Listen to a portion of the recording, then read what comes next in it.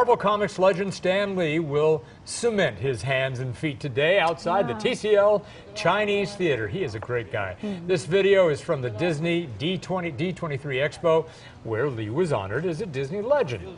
He created or co-created 90% of Marvel's most famous characters. Just to name a few, Spider-Man, Iron Man, X-Men, the Hulk, and the list goes on. He is an icon. Mm-hmm.